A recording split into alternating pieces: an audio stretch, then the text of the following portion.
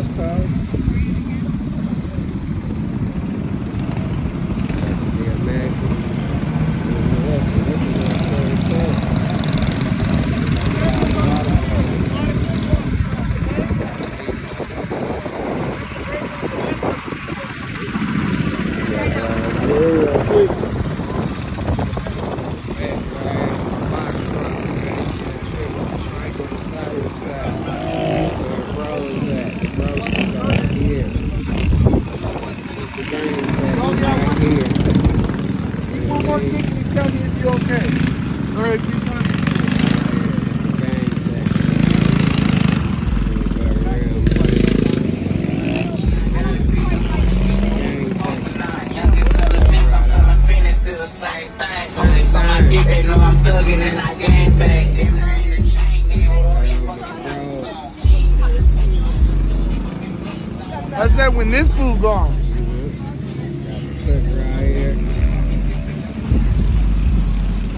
What?